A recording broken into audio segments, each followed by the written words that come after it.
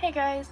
So today I am reviewing the 100% pure uh, cucumber juice cleanser.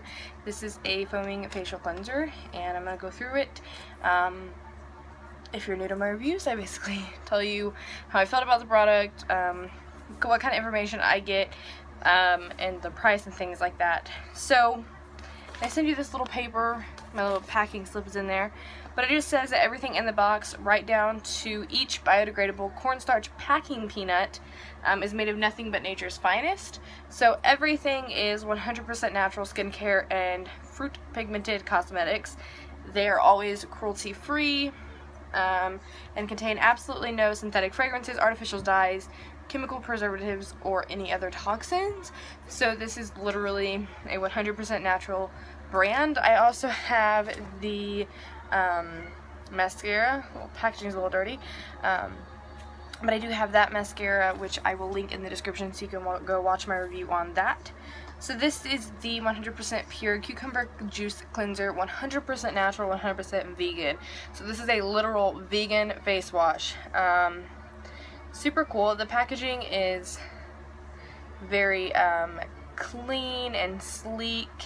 The product itself is white you get, let me look here, six fluid ounces. It talks a lot about it on the back. I'm sure you guys can't read that. Um, so this face wash retails for $29. You can find it um, online at 100percentpure.com and I will link the direct description or the direct um, link to this. I'm sorry, I'm looking at the side. I have my laptop up here, and I'm going to read some of it. So it is, uh, and hydrates with cucumber juice, rose hydrosol, and green tea, and calendula. Calun, calendula? I don't know how to say that. Um, it washes away impurities without stripping or dehydrating your skin. It uh, doesn't contain any synthetic chemicals, artificial fragrances, alcohol, chemical preservatives, or any other toxins that can damage or irritate your skin. Truly 100% this product is vegan. Um, so this is for sensitive skin. And I wouldn't exactly say that I have, okay, so there is a ingredient list. Um, it's probably not to focus on my laptop, but I'm to see if I can get it up there. I don't know if it focused or anything, but it's kind of hard because I have Prim. But um, there's the ingredient list. You can, I'm sure you can find it on the website. Like I said, I'll link it down below. Um, but this is for sensitive skin. And I wouldn't say that I have sensitive skin, but some things do tend to break me out. Here is the um, my personal opinion on this. It I, I don't like the smell. Um, of course, there's no artificial fragrances or anything, so it's completely natural. It just smells like cucumber, but it's like hmm, a half rotten cucumber. I don't know. It's not like a disgusting smell, but when I tried to put it on my face, I just couldn't. And I love, love, love cucumber scent. Anything else, but when it comes to being a natural cucumber scent, I'm a little iffy. Um, thank you. It was just, I didn't like rubbing it on my face. Um, it was nice, and it didn't feel, it was nice to put on my face, but at the end, it didn't feel like it cleaned it well, and it made me break out. Don't ask me how, it's supposed to be 100% vegan, there's nothing in it, but it made me break out. And I use different kinds of face washes. I review a lot of face washes um, on my channel, and I put different products on my face quite a bit, but it, it broke me out really bad. Now, I used this about a week ago, um, about a week ago, anyway, sorry, but I haven't got around to filming the review, um, but it did break me out. Now, I don't know, I don't know why, I don't know if maybe it's just like, why won't it freaking move? Baby, please stop. Thank you. Um, I don't know. Maybe my skin is just not good with vegan. I don't know. But uh, I think this would be a perfect face wash for people who are vegan because I think it's good to try. Now, would I pay $29.99 for this? Uh, obviously not because, okay, son, stop please. I'm, I don't, I don't want that. I'll play when I'm done.